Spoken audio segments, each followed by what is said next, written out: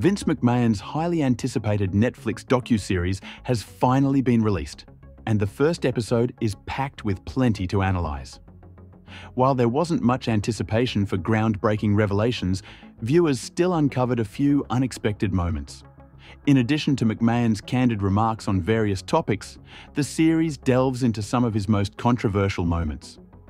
The infamous Ring Boy scandal is highlighted in the second episode, where Tony Atlas makes a startling confession.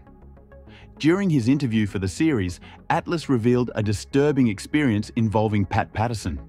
He alleged that Patterson would grab him inappropriately in the locker room, a statement he made with utmost seriousness, leaving no room for misunderstanding.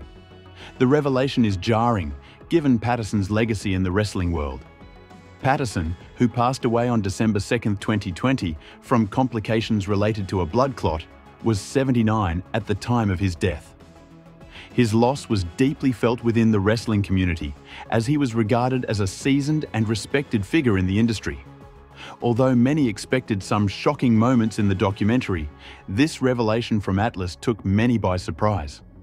Fans are still absorbing the details of the series, and there's likely more to emerge as people continue to watch closely.